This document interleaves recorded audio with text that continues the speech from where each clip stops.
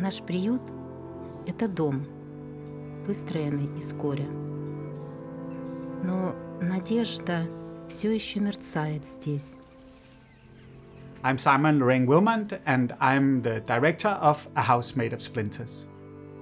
A House Made of Splinters is a film about a very special but temporary shelter located near the northern parts of the front line of the war in eastern Ukraine.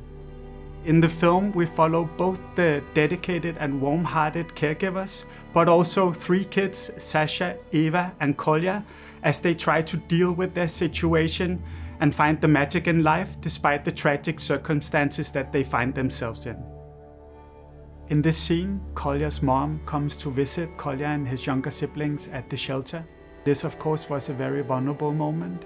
He starts out true to his character, being very full of bravado, and the mom discovers that he's been cutting himself. And the tables turn very quickly. Делать ему нечего.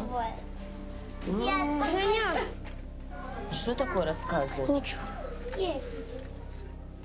Ты нормальный? Ну скажи, что речь? А ну, встань. Я не я Сюда подойди, пожалуйста. Что? Присядь. Ой. Ой. И это нормально. А я настаюсь. Не вздумай, ты ж не нужен. Я же Да, тебя, я ну куда? настаюсь. And as I was filming this moment, I then noticed all of a sudden Alina standing in the glass window looking at Kolya and his mom with this look on her face that said everything about what these children uh, hope for, uh, which is that their parents come back reformed and are there for them and to take them home.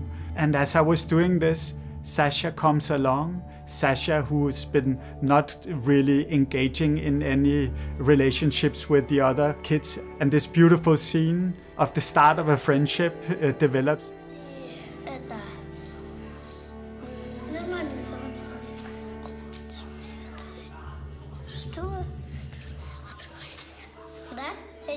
Быть твоей подругой? Да. Ладно, соглашаюсь.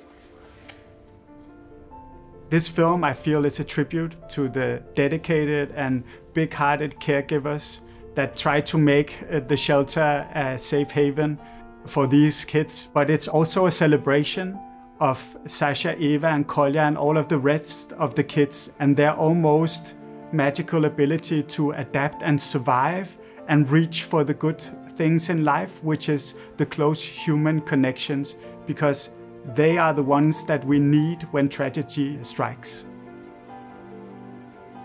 Каждый ребенок оставляет неизгладимый след на стенах приюта, на нас и на друзьях, которых они находят здесь.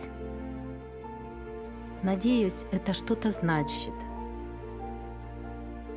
Как говорится в пословице, надежда умирает последней.